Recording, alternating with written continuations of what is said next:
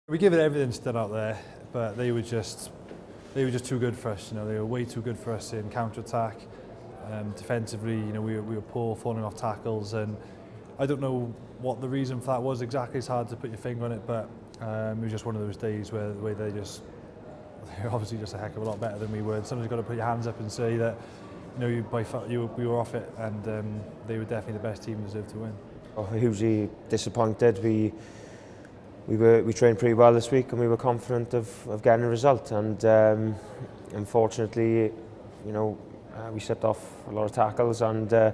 they hit us on the counter attack and we turned the ball over and to be fair they showed how clinical they were and um,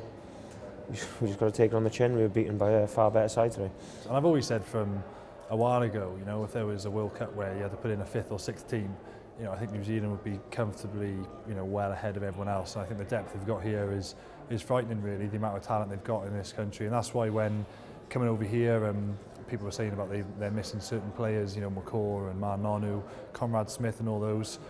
It's, it doesn't make a difference here, you know, they got some fantastic guys who can come in and do a job. They lose a little bit, little bit of experience, but um, the talent that they've got is incredible and um, that's why they're the best rugby nation in the world. yeah, you know, they're obviously the benchmark. That's why they're the world, world champions and um, twice over. And